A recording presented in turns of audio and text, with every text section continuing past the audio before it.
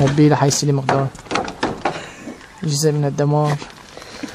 الذي خلقته إصابات الأسماك الله أكبر.